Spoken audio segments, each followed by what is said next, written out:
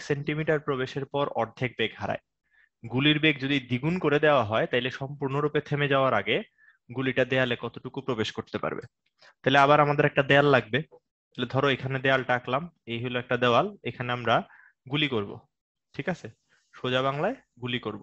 তাহলে ধরো এই যে দেওয়াল, দেওয়ালের মধ্যে প্রচুর বাধা টাধা আছে। আপাতত একটু বাধা এঁকে নেই, তাইলেই হবে। তাহলে এই বাধা পুরা সরি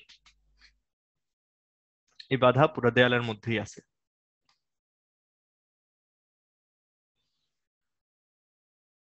আচ্ছা। হইল।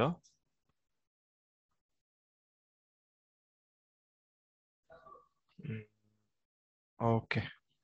তাহলে এই হলো আমাদের দেওয়াল। দেওয়ালের মধ্যে বাধা বল কাজ করতেছে। এখন কাহিনী হইল গিয়ে, তুমি প্রথমে একটা গুলি মারছো। বলছে এটা এক সেন্টিমিটার প্রবেশের পর বেগ অর্ধেক হারাইতেছে। তার মানে ধরে নিলাম এটা সেই বুলেটটা। যে বুলেটটা এখানে নিক্ষেপ করছিলা তুমি ইউ বেগে। ইউ বেগে নিক্ষেপ করছিলা। নিক্ষেপ করার পরে সে এক সেন্টিমিটার গেছে। এইখানে আসছে।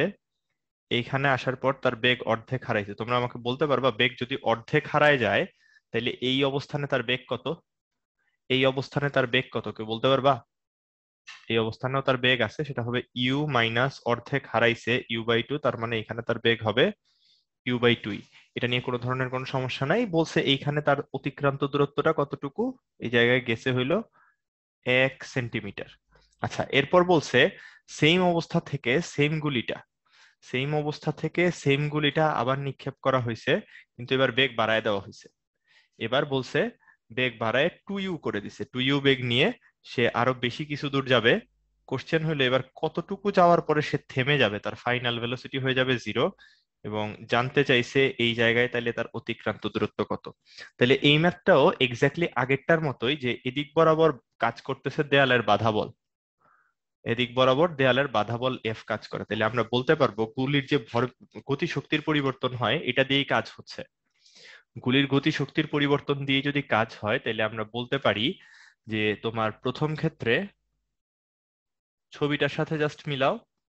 প্রথম ক্ষেত্রে বাধা বলের বিরুদ্ধে কৃত কাজ। বাধা বলের মান যদি এফ হয় F into zero point zero one is equal to গতি শক্তির পরিবর্তন। তাইলে আমরা আগেই বলছি, সবসময় বড়টা থেকে ছোটটা বিয়োগ দিব। Half M into U square minus half M into U by two whole square U by two whole squared তাইলে এখান থেকে লিখতে পারব F into zero point zero one is equal to half half E M into U square minus U square by four U square minus U square by four তাইলে এখান থেকে দেখো চলে আসতেছে তোমার F into zero point zero one is equal to half M U square into three by four চলে আসবে, তাই তো? থ্রি বাই ফোর এটাকে একটা ইকুয়েশন হিসাবে রাখলাম। এবার দুই নাম্বার ক্ষেত্রে, চিন্তা করো, দ্বিতীয় ক্ষেত্রে বলতেছি।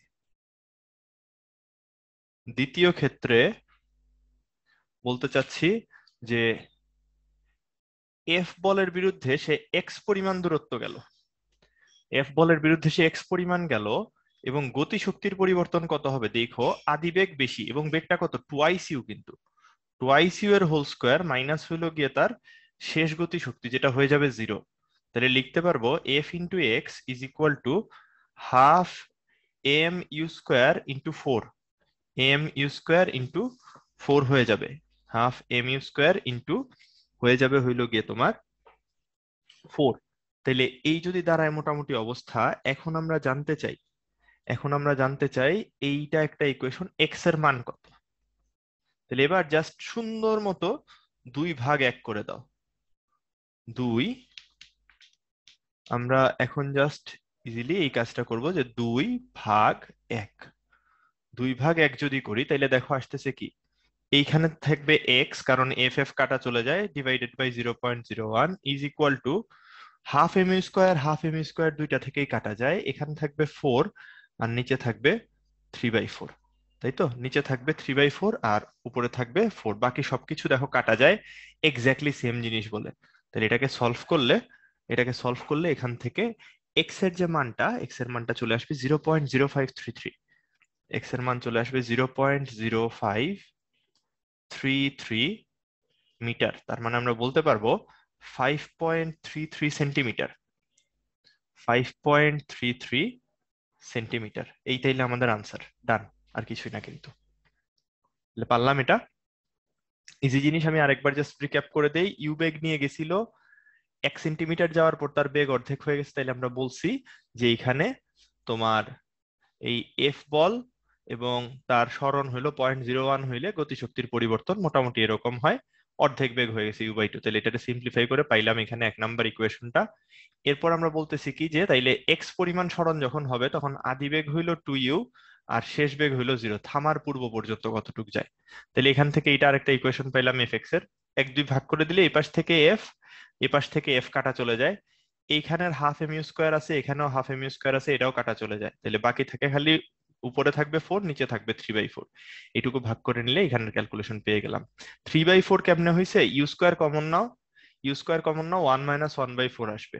ঠিক আছে? ইউ স্কোয়ার কমন নিলে ওয়ান মাইনাস লাস্ট লাইনটা যারা যারা বুঝো নাই, তাদেরকে একটু জাস্ট এটা দেখাই দিই। দেখো, এখান থেকে ইউ স্কোয়ার কমন নিলে কি আসে? One minus one by four তাহলে চার ভাগের এক ভাগ চলে গেলে বাকি থাকবে কতটুকু বলো তো? চার ভাগের তিন ভাগ। সিম্পল জিনিস। তো এটা না বোঝার মতো আসলে খুব বেশি কঠিন না। একটু ক্যালকুলেশনটা নিজের হাতে করতে হবে। আচ্ছা চলে গেলাম তাইলে পরেরটাতে। এখানে একটা সুন্দর প্রবলেম দেওয়া আছে, বলছে মূল বিন্দুতে থাকা ফাইভ কেজি ভরের। মূল বিন্দুতে থাকা ফাইভ কেজি ভরের একটা স্থির বস্তুর উপর, এই জিনিসটা জানাটা ইম্পর্টেন্ট স্থির বস্তুর উপর নিম্নরূপ বল প্রয়োগ করা হলে এক্সিকোস টু জিরো অবস্থানে তার শেষ বেগ কত? এক্সিকোস টু জিরো অবস্থানে তার শেষ বেগ কত? তাহলে আমরা কি বলতে পারি? এইখানে বল দ্বারা মোটকৃত কাজ। মোটকৃত কাজ, বল দ্বারা মোটকৃত কাজ ইজ ইকুয়াল টু তার গতিশক্তির পরিবর্তন। ইজ ইকুয়াল টু গতিশক্তির পরিবর্তন। তাইলে আমরা বলতে পারব মোটকৃত কাজ মানে হলো এরিয়া মোটকৃত কাজ মানে আমরা বলতে পারব তার এরিয়া তাইলে এইখানে এরিয়াটা বের করতেছি কতটুকের? এইটুক এরিয়া প্রথমে দেখো, আমরা এটাকে দুইটা ভাগে ভাগ করে ফেলতে পারি। এই জায়গাটা একটা আয়তক্ষেত্র। এই জায়গাটা একটা আয়তক্ষেত্র, তাহলে এই আয়তক্ষেত্রের এরিয়া কত হবে? এই আয়তক্ষেত্রের এরিয়াটা আমরা বের করে ফেলতে চাই। এটার এরিয়া হবে এ ওয়ান নাম দিলাম, তাহলে এটা হয়ে যাবে পাঁচ গুণ দশ। পাঁচ গুণ দশ মানে এটা হয়ে যাবে পঞ্চাশ। আচ্ছা এরপর চিন্তা করো, এইখানে আছে আর একটা ত্রিভুজ। এখানে আছে একটা ত্রিভুজ, তাইলে মোটকৃত কাজ সমান যে ক্ষেত্রফল, এটা তো আমরা অলরেডি একবার পড়ে আসছি, তাই না? যে এফ এক্স গ্রাফের এরিয়া থেকেই আমরা পাই হইল মোটকৃত কাজ। তাইলে এই ত্রিভুজের ক্ষেত্রফল হবে হাফ ইন্টু ভূমির দৈর্ঘ্য কতটুকু বলতো? দশ মাইনাস পাঁচ মানে পাঁচ। এটা কত? পাঁচ তাই তো তাহলে হাফ ইন্টু ফাইভ ইন্টু হইল গিয়ে তোমার উচ্চতা। উচ্চতা মানে দশ তাহলে কত হয়ে যাবে? পঁচিশ। তাহলে এই জায়গা থেকে এখন আমরা বলতে পারব এটা পঁচিশ। তাহলে মোটকৃত কাজ ইজ ইকুয়াল টু পঞ্চাশ প্লাস পঁচিশ। মোটকৃত কাজ পঞ্চাশ প্লাস পঁচিশ, তার সাথে কি হবে? তার সাথে হয়ে যাবে হাফ এম ভি স্কোয়ার আর যেহেতু স্থির বস্তু ছিল, তাইলে তার তাহলে তার আদি গতি শক্তি হবে জিরো যেহেতু স্থির বস্তু ছিল তাহলে তার আদি গতি শক্তি হবে জিরো এইটুকু সলভ করে নিলে পাঁচ কেজি ভরের বস্তু, এটা হলো পঁচাত্তর। পঁচাত্তর, আর এখানে থাকবে half into five V square half into five V square এটা যদি সলভ করে ফেলি আনসার চলে আসবে। আনসার তোমার চলে আসবে হলো রুট ওভার তিরিশ। V is equal to root over তিরিশ মিটার পার সেকেন্ড যেটাকে তুমি যদি একটু সলভ করো, তাহলে পেয়ে যাবা ফাইভ পয়েন্ট একটু সলভ করলেই পেয়ে যাবা ফাইভ পয়েন্ট ফোর এইট মতো। Five point four eight meter per second done easy জিনিস। আচ্ছা সোজা হিসাব, এখানে মোটকৃত কাজ সমান গতি শক্তির পরিবর্তন এই আইডিয়াটা ইউজ করেছি। মোটকৃত কাজটা হলো গিয়ে গ্রাফের এরিয়া জাস্ট এটা মাথায় রাখতে হবে মোটকৃত কাজ হইল গিয়ে area area of F X graph F X graph ঠিক আছে? এফ ভার্সেস এক্স গ্রাফের তোমার এরিয়া হইল গিয়ে তোমার কৃত কাজ নির্দেশ করে। তাহলে এটা পেয়ে গেলাম আমরা। আচ্ছা সো এইটুকু যদি